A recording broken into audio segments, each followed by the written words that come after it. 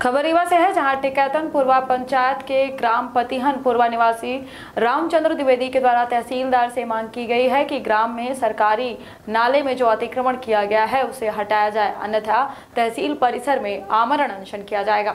इसमें किसान ने कुछ लोगों पर आरोप लगाते हुए शिकायत की है कि आज उस नाले से निकल भी नहीं पा रहे हैं। चारों तरफ़ से खेती बचाने के लिए बाँध दिया गया है। अब एक ही रास्ता नाला था। मवेशियों को नदी पानी पिलाने के लिए ले जाने और भी कार्य करने पर उसमें भी अवैध कब्जा कर लिया गया है।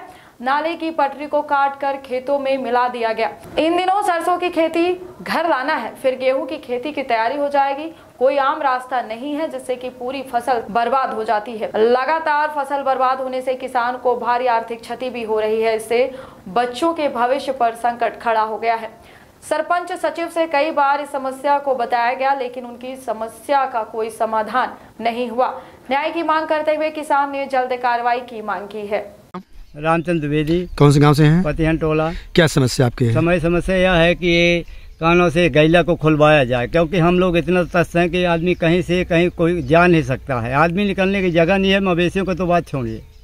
हम सरपंच सेक्रेटरी सबको बोल चुका हूँ लेकिन कोई सुनने वाला नहीं है। अब हम आगे की ओर कदम बढ़ाना चाहता हूँ कि अगर नहीं होता है तो हम तहसीलदार सीओ हम इनके पास जाएँगे। अगर सीओ उधर से भी नहीं होगा तो हम कलेक्टर के पास जाएँगे। हमारे वो वादा है। अच्छा पहले ये रोड कितनी थी? ये प- प- प- रोड वही पचास कड़ी है ना? सब कब्जा किए हुए हैं। पचास किलोमीटर में मतलब दस फीट नहीं बचा है? हाँ हाँ दस फीट का तो पाँच फीट नहीं है आप नापिए। तो ये रोड कहाँ तक जाती है? ये रोड नदी तक गई हुई है। जबकि सब कब्जा किए हुए हैं। कोई आदमी किधर से जा नहीं सकता है।